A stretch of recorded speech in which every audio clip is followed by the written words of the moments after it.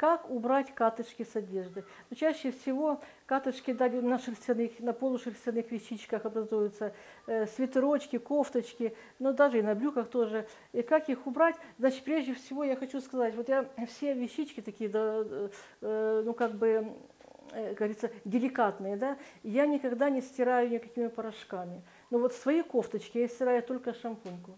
Беру шампунь и туда добавляю немножечко э, нашатырного спирта.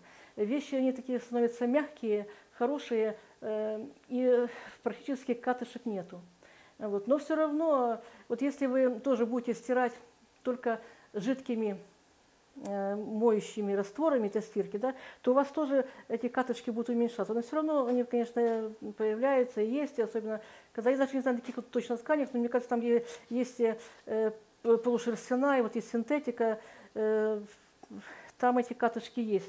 Ну, как я их э, чищу потом, да, или избавляюсь, или чищу, значит, у меня, конечно, куча приспособлений. Есть вот такая штука, это давно еще, это при советской власти мы покупали, вот она идет, э, э, ну, такая шершавенькая, то есть если вот так вот они скатываются, и здесь все остается. Но работа, конечно, такая кропотливенькая, поэтому я говорю, что лучше вот это придерживаться, правильно стирать их и правильно гладить.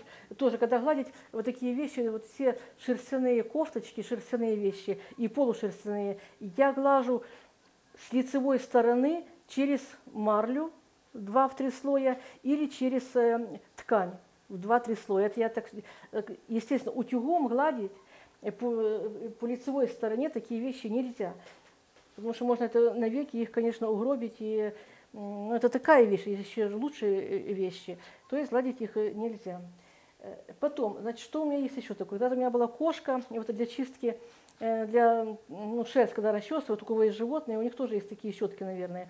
Вот это тоже, если, допустим, ну, здесь надо очень-очень так это аккуратненько, аккуратненько, потому что здесь такие зубчики остренькие. Вот такая щетка у меня есть для чистки. Если такая щетка у меня, здесь она, она просто такая шершавая, и как бы тоже хорошо счищает э, вот эти такие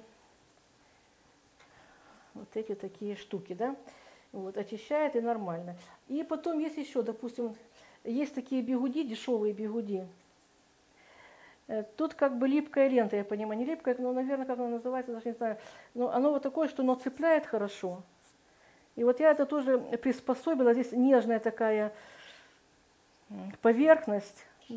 Да, шероховатенькие, но они такие нежные. Вот из всего вот этого они самые нежные. И они лучше всего убирают вот эти катышки. Вот так вот отлично.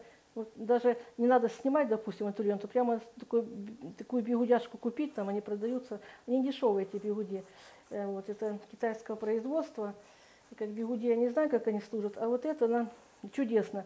Вот это таким образом я снимаю эти катышки. Показала вам все свои способы, как я от этого э, с этим справляюсь. Конечно, работа такая более-менее трудоемкая, но если вы будете э, жалеть свои вещи, стирать их даже в шампуне, э, то, то, в той шампуне, который вы моете волосы, то эти вещи будут долго служить и будет меньше катышек. Чтобы она... А, что еще хорошо, вы знаете, вот когда вот этот кондиционер для ополаскивания волос, вот я очень часто применяю, особенно для шерсти, для носочков шерстяных, для кофточек, э, я когда ополаскиваю шерстяные вещи, туда добавляю вот этот обычный кондиционер для волос. То есть можно купить дешевый кондиционер для волос, вот, и добавлять буквально чуть-чуть. Вы попробуйте, что когда вы прополощите вещичку шерстяную, те же носочки жесткие бывают, они становятся ну, просто как шелковые, нежные, приятные, хорошие.